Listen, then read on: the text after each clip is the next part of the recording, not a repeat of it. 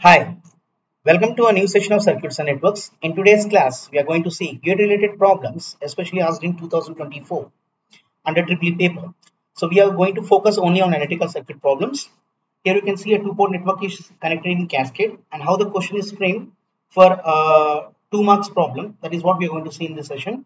Apart from this, we also see some of the basic numericals such as first example, you can see a circuit is given over here.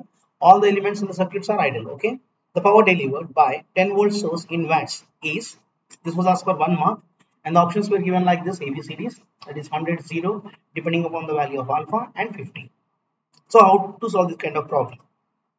First of all you take the circuit as it is and mark a node voltage as v assuming this node to be at higher potential so that when i am going to apply kcl over this particular node i can easily frame the branch currents uh, that is on left side on the denominator and on the right side like this.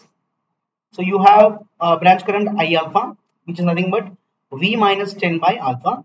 Then you have another branch current V by 1 and you have a source current which is acting as a branch current over here. So when you're going to apply this KCL, you're going to get this equation. Taking like terms and unlike terms on one side and other side, I'm going to get V which is equal to 10 volts. Now once V is obtained, I can easily obtain the value of current I alpha that is nothing but 10 minus 10 by alpha which is nothing but 0 amperes. So in fact this 10 volts would be delivering uh, power which is nothing but uh, equivalent to V into I.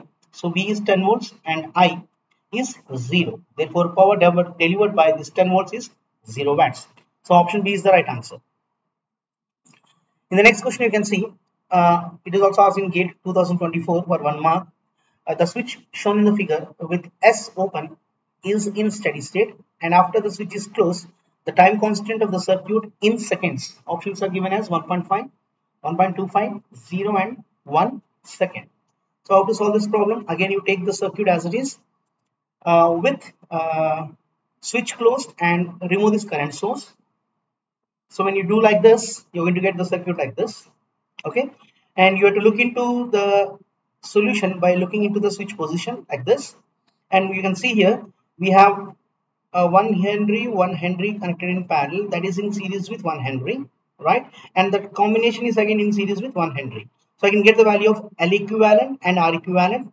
So R equivalent will be 1 plus 1 and L equivalent will be 1 plus 1 plus parallel combination of this 1 and 1. So this is how you need to solve this problem. So L equivalent, I'm taking the value uh, which is nothing but the parallel combination of these two Henrys in series with 1 and 1. So it becomes 2.5 henries and R equivalent equal equal to 2 ohms. Finally, the time constant is given by L equivalent by R equivalent. So this 2.5 by 2 will give you the value as 1.25 seconds. So in your past gate exam also, you must have seen these kind of problems related to R connected with inductor or R connected with capacitor. So please focus on these kind of problems. So option B is the right out over here. In the next problem, the number of junctions in the circuit is dash. So you need to find out the nodes. So you, you can see the network, oh sorry, the circuit is connected in this fashion and the options are given as 8, 6, 7 and 9. So which is the right option? We have to look into the node conditions first. So let me mark the nodes. I am taking this one as node 1. Node 2 and node 3 are marked on the top. Node 4, node 5 are marked in the bottom. And node 6 you can see over here and over here are sharing the common terminal because there is no uh, element connected between this node and this node. That's why I have marked these six as the common nodes. So here uh, no element implies it becomes a common node. So practically you have six nodes. So option B is the right answer. Then, two passive two-port net networks P and Q are connected in uh, figure show. The impedance matrix of network P is ZP that is 40 ohms, 60 ohms, 80 ohms and 100 ohms. The admittance matrix of the network Q is 5 Siemens minus 2. Siemens minus 2.5 Siemens 1 Siemens or in mhos you can say and let a the ABCD matrix of the two-port network be R, which is uh, shown in this figure, the common uh, uh, the two-port network is treated as R and it is nothing but uh, elements which are present in R are alpha, beta, gamma and delta.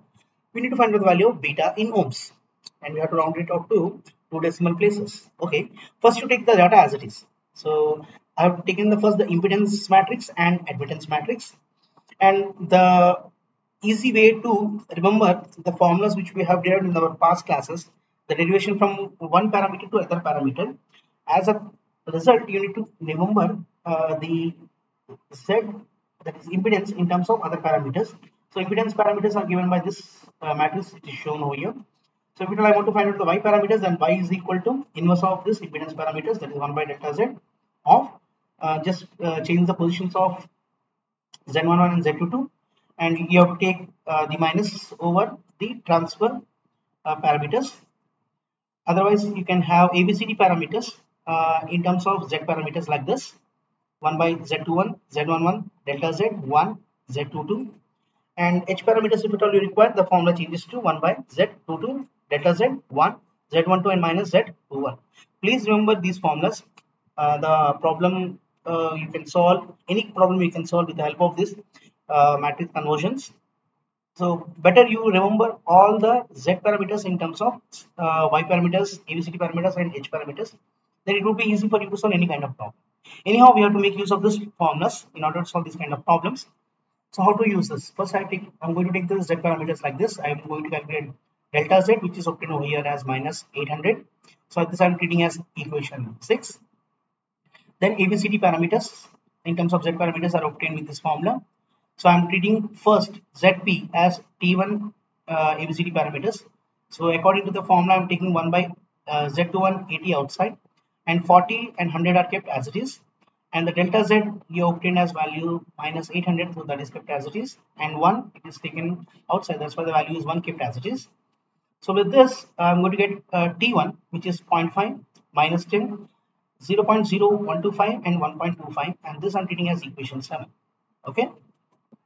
Just follow what i'm trying to say over here. Uh, later on you can interpret the result so from equation 2, you know that y parameters, uh, sorry, uh, yes, the admittance parameters is given by this matrix.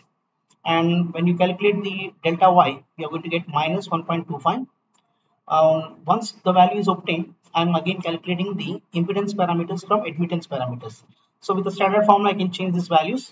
So I'm going to get the value of impedance from admittance value as minus 0.8, minus 2, minus 2, minus 4. So this I'm reading as equation 9 and this we are treating as equation 8 and finally I'm taking the transmission line parameters 2 that is again obtaining uh, ABCD parameters from Z parameters.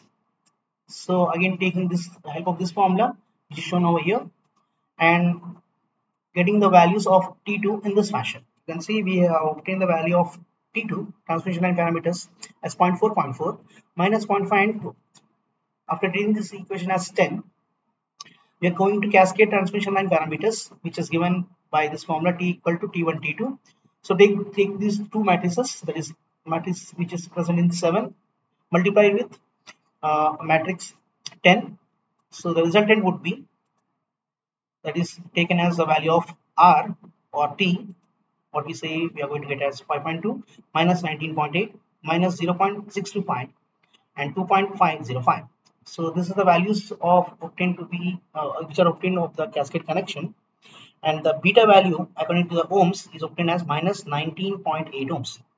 Remember if at all we take delta z as a modulus value then it becomes positive 800. Finally uh, from equation 8 again you're going to get delta y which is positive value as 1.25 and t1 t2 matrices are going to change with some positives and negative symbols and you're going to get the value of beta with 20.2 ohms. But instead of this, I have taken exact values what is obtained uh, with delta z and delta y. With these two values, I obtain the value of beta is equal to minus 19.8 ohms. You please comment in the chat box whether you got the same answer by your approach or not. And later on, we are going to interpret this result with any other approach. I hope you like this class. Uh, please share among your friends, subscribe to this channel and please press the bell icon for the future notifications. Thank.